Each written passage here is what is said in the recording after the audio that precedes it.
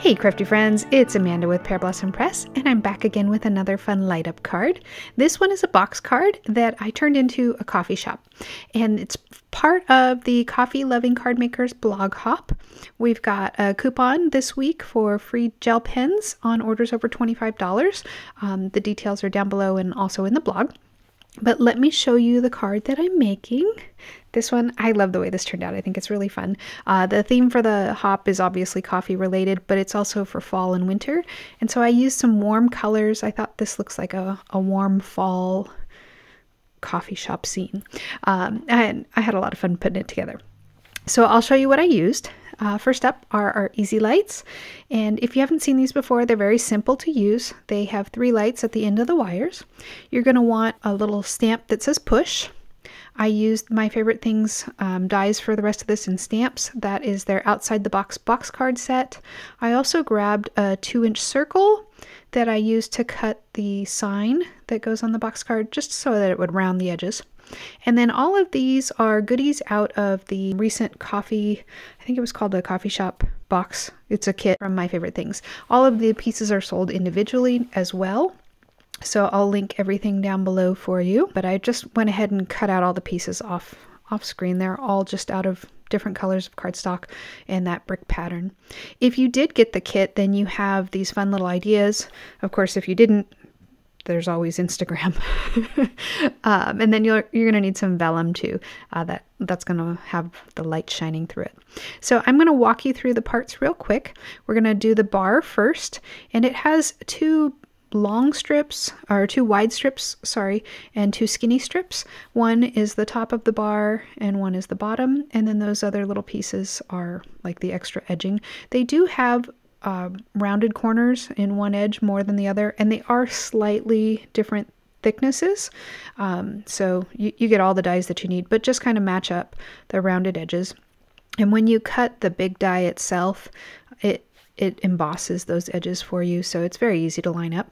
And you can use whatever colors you want. I just went with sort of kraft and then one darker brown for the top of the bar. I wanted that to be the countertop. For the chair, I think this is really cool. My house is mid-century modern, so when I saw these chairs, I decided I needed this kit no matter what. Because they remind me of, of mid-century. Um, they're very simple to piece together. It has sort of a boomerang shape that goes on top of a rounded triangle, and then that just goes on top of the legs. It also comes with this T and a longer strip to make a table. So I just did that two-toned. Um, again, that same darker brown that I used for the the bar top, and then a, a medium shade for the, the legs of the table and the, the chair. And then it comes with this really fun little set so that you can make a signboard, like an A-frame sign for out front. I went ahead and stamped already. I just, it's just white embossed on black cardstock, and then I sandwiched that on top of the um, dark brown cardstock there. They go together very simply. I just, sometimes you get these sets and you don't necessarily know what the pieces are, so I wanted to show you how I piece these together. Uh, two plants in the pots, again, simple. And I just cut all of these out of scraps of cardstock. I didn't even add any shading. I do really like to color my own die cuts, but this time I, I thought I'd keep it simple. Now for the light, I trimmed it down a little bit. You can see there's one full-sized one, but it just felt a little bit big for the scene that I was creating, so I trimmed the top of that light just a little bit. And then I'm gonna stick it on top of one of those little brass pieces. There's a cool set that has all these industrial finishes. And then there's a circle. I cut that from vellum and I colored it with a Copic marker, just yellow so that the light would glow a little more yellow and I'm just kind of piecing it together. We'll cut off the top, so don't worry. Um, for the coffee machines, uh, it comes with an espresso machine and also a regular coffee machine. And so I was putting it together. I don't actually end up using the espresso machine on this card because it ended up feeling too crowded. But I'm going to show you how I assemble it because I know I will use it on a future card because it's really cool. Um, but I just kind of, I cut the one die cuts out all of the bits and pieces. So I cut it out a couple times from different colors.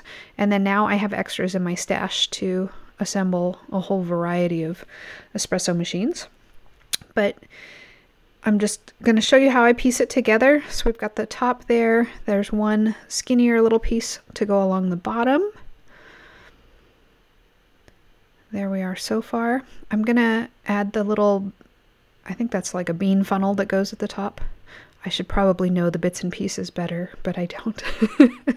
um, and then I've got that little red dot that I'm going to put right in the middle. And when I cut this out, it embosses um, the circle in the center, and then it also embosses two little circles on either side of the red dot.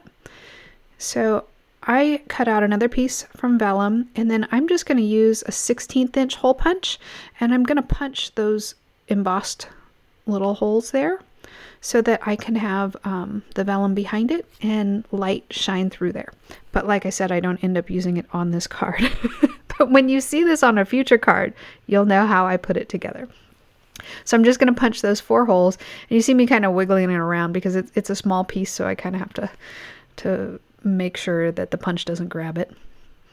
There we go. And then that piece of vellum is already die cut with the same die as well. So it embosses the holes there so I know where to color the green and the red dots. There we go. And then I'll bring in a light here, just let's see if we can see it. I'm not sure that it shows up on camera, but in person you really can see the uh, red and the green coming through here. Oh, I went ahead and glued it on real quick. And then let's see. So you can kind of see on camera here how those the lights come through. In person, it comes through really nicely. And I did just um, add a little more color to the back side of the vellum just so that we can really make it more vibrant. But that will be for a future card. so let's work on the coffee pot that actually goes onto this card. So it I cut it out of red and then I just drew a little like a line above the the dot where the um, silver button is going to go. And I've got a slot punch. This is, it cuts out like a rectangle. I've had it in my stash. I don't know, for a long time. You could use a smaller circle if you wanted, but I thought it would be a little more interesting to have um, a slot where it's kind of red on the bottom and green on the top, almost like a toggle switch. So I've got another piece of vellum there, and I'm just going to color red and green on either side of it. And then I can tape or glue that to the back of my coffee pot here, or a coffee machine. Coffee maker. all the words. You know, my husband actually brews coffee or he roasts his own coffee beans and then we brew it fresh every morning. And apparently I have not had enough today. but all right, so that one just goes together just like that. And then it comes with the carafe and there's a little tiny piece I cut from black to go along the bottom.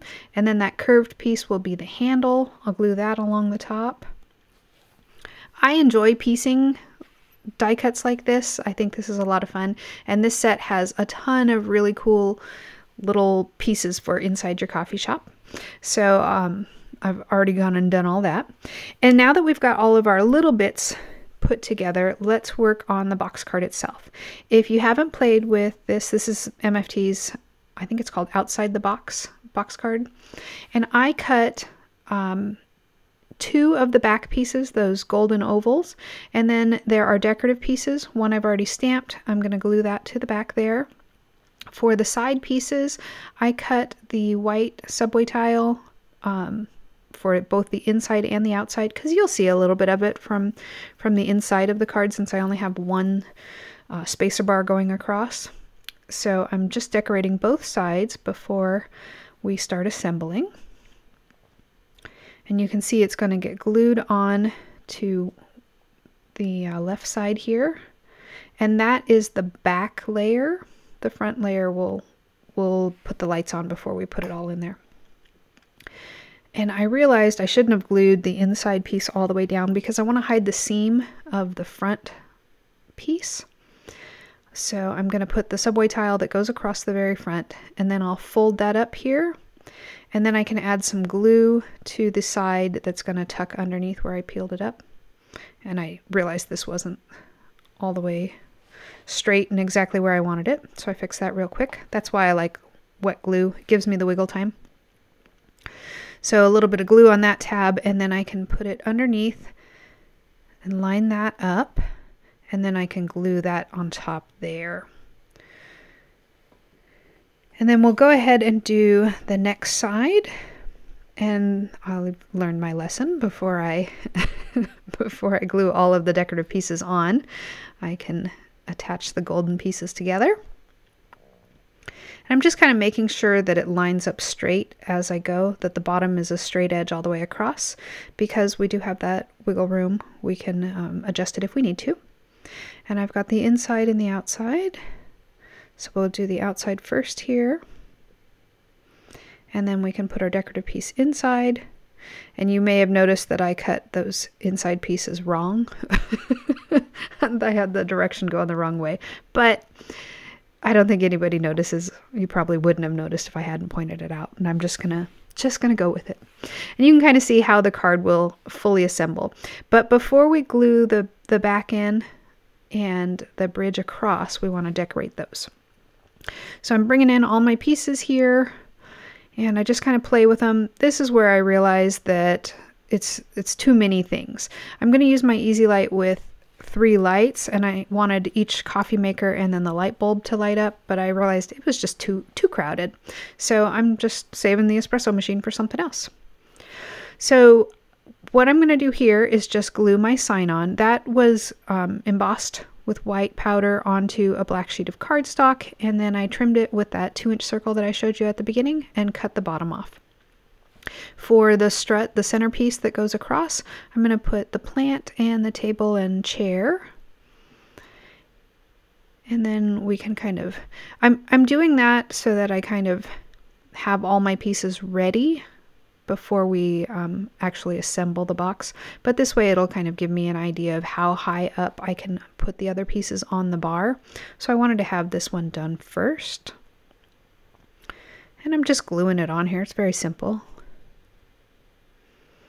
Now we can work on the background of above the bar.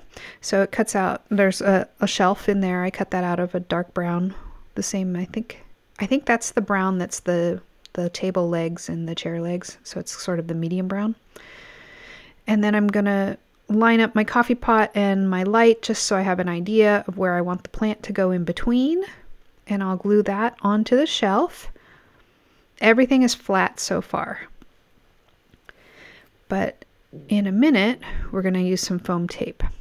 So I'm kind of lining things up here and I want to see um, where my light is going to sit. So you see me kind of arranging everything here, making sure that the table heights are all in a good place so that they're not hiding everything. And then now I can move the coffee pot and just put a little pencil dot where I'm going to have the light itself come through. And I'll do the same thing for the light bulb. I like that little brass chandelier there, or copper. I think it's, I cut that from copper paper. And apparently I overthought that a whole lot. so I put my little dot there. And now I can move those things out of the way and I'll bring in that 16th inch hole punch again. You can use a, just a pokey tool here as well, either way. You just want a little dot so that the lights can come through. And then we're going to line up where the, um, the button will be. And you can see this is my EZ-Light. It has three lights on there. I only need two because I ended up saving the, um, the espresso machine for another card. So I'm just going to cut one off.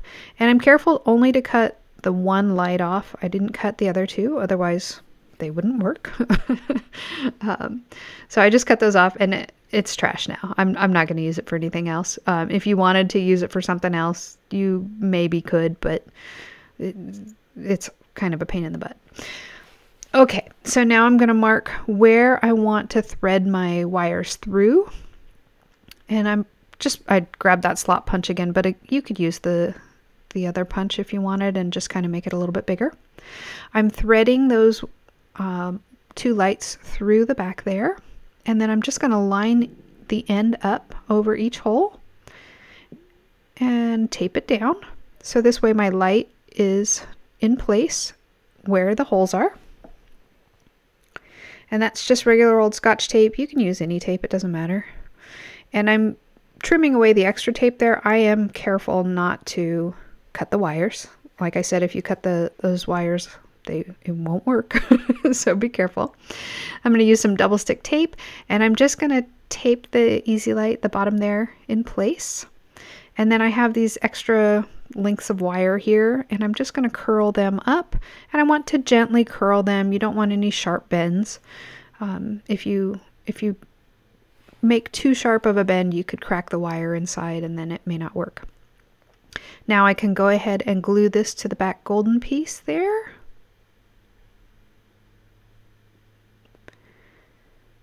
And let's see, I think I pushed the button here so you can see. So my two lights are in place. And now we're just going to start covering everything up before we close up the box. I do want to use double thick foam tape. Um, that elevates, the, it creates some distance between the vellum and the light bulb itself and makes the whole thing glow. If you glued the vellum right on top of the dot, just flat on top with no space in between, you'll just get a dot of light that comes through the vellum in, in kind of a hot spot. But if you elevate it and give it a little bit of space, that gives the light room to kind of bounce around before it comes through. So I try to, to create space between the vellum whenever I can. If it's a real small piece of vellum, it's probably not that big of a deal. It doesn't matter. But for for anything that's a little bit bigger, quarter inch or so, um, even with the coffee pot, because that's a, a slot there, um, I want to say it's it's probably a quarter of an inch long, maybe three eighths of an inch long. So I wanted to give it space for the light to bounce around. And now I'm going to line this up and get the, the coffee pot or the coffee machine over that light there. Make sure that the light is in the right place and that the bottom is straight across my bar. And I like that. Now I need to mark where my button is. So you saw me put a little pencil mark at the bottom of my bar and I'm going to grab my little push stamp. I'm going to line it up here in my MISTI. When I pick it up in the lid, I'm going to erase that pencil mark now and then I can stamp over it. And this is just black ink. You will see it from underneath. Um, a lot of times I do, like a color that'll blend in more. I went with black because it is kind of down low and hidden. And now I'm going to bring in my double thick foam tape and I'm just going to kind of put it around on the bar here in a couple spots. I'm making sure to leave that gap so that I don't put any foam tape on top of the light. And I'm just going to check it, make sure that everything's good, and it is. So I can peel up my release paper and put the bar down here and I'm lining it up with my coffee shop. Or sorry coffee pot there. There's a lot of coffee in this. All right so I need to add my little coffee pot now the carafe. And another piece of that double thick foam tape just so that it's coming out at the same elevation as the pot and the bar or as the machine and the bar. There we go. And now we can put the um, the box together. So I'm going to put the center strut in and I want to kind of line things up, see how high I want it to come up. If I brought it up too high, then we'd, we'd kind of cover the back bar. But I want it just sort of at the bottom of the, the white subway tile there. So I'm lining it up and gluing it down on one side. Again, I like this wet glue because it gives me wiggle room. And after I have one side in place, then I'm going to glue the back on here, but I want to be able to slip the other end in here, so I'm kind of leaving a little bit with no glue on the right side there. And I'll just line it up, stick it down. I'm going to add glue to that tab, and I won't glue in the center piece just yet because it's a little too much to, to handle all at once. I can slide that in, make sure it's all lined up, and then now I can add glue to that other piece. Otherwise, it's kind of a lot to, uh, it's a lot of things to juggle at the same time. Um, so I'm just going to go ahead and kind of move that around till I get it right. And I do like to go back and forth both sides with a box card and make sure I have it lined up correctly. And I'll just hold it until the glue sets. There is a little bit more decorating to do. I'm going to glue the, the top of the light down so then I can trim it off. And then I've got that front little signboard that I need to put on there. And then I grabbed a few of the die cut coffee cups. I didn't show you assembling them or anything because there is no assembly. They, they cut out ready to go. Um, so I went ahead and attached a few of those, some to the top of the shelf that we have the plant on, one to the coffee table in the front, or the, yeah, the, the table in the front. and then I put like a little creamer and another cup with foam tape so they kind of are at bar height and sticking out the same level. And then I've got one more cup that I put on the back just for fun.